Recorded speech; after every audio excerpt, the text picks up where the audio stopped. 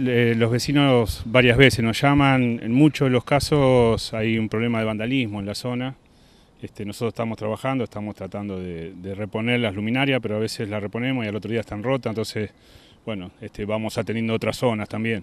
Pero sí, estamos haciendo recorridos por zonas, en zonas donde hay un poco más de vandalismo para volver a reponer. En estos días vamos a volver a pasar por ahí para ver cómo está todo.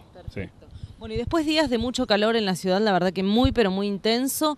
Bueno, ¿cómo ha resistido todo lo que tiene que ver con la electricidad, la utilización de los aires acondicionados? Bueno, este, por ahora venimos bien. Lamentablemente tuvimos dos fallas a la mañana esta semana, pero que no fueron originadas en instalaciones nuestras, sino en redes que traen energía a la ciudad, que a veces es difícil explicar a la gente que un incendio en La Pampa puede cortar al buen Tandil, ¿no? Pero bueno, es la realidad de lo que nos pasó básicamente en la instalación nuestra están resistiendo bien. Hoy fue el día de mayor demanda. Este, esa demanda se produce a las 2, 2 y media de la tarde.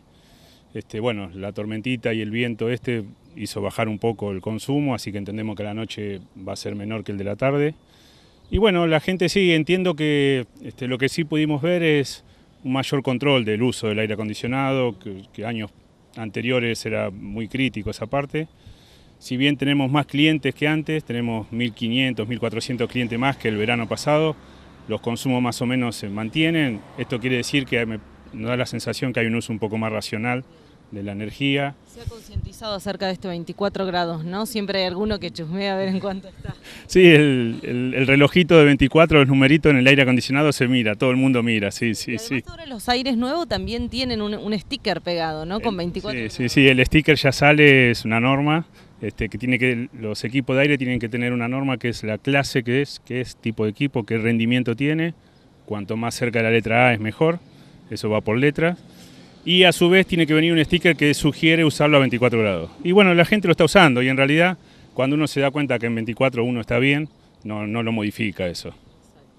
Bien, así que bueno, han funcionado bien, ahora ayuda este viento, eh, se prevé por lo pronto, no hay otra ola de calor, así que digamos que esta semana que se fue acumulativo el calor, por eso este, hoy el día que más se sintió y que más se utilizó la energía, dio abasto, se puede decir. Sí, sí, la verdad que este, estamos satisfechos porque más allá de problemas puntuales y muy cortos y fáciles de resolver, no tuvimos grandes problemas y entendemos que el, horario de mayor consumo que fue este ya pasó y la, red soportó bien.